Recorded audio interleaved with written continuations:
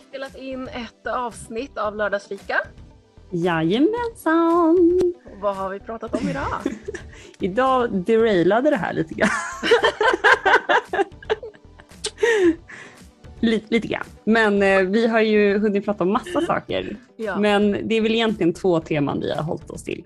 Det ena hur känslor kan smitta. Mm.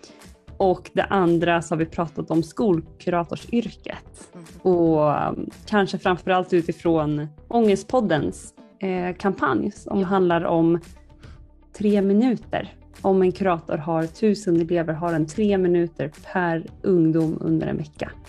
Herregud, ja, det är helt galet. Helt, helt sjukt. Ja, ja, ja, och jag har ju verkligen bara suttit eh, in å här eh, och lyssnat på hur du har haft det på din skola, hur du har arbetat och eh, det har öppnats upp en helt ny värld där jag inte hade någon aning om de här sakerna. Så att, och det känns lite jobbigt att jag inte hade, men nu. Nu, Nu jäklar!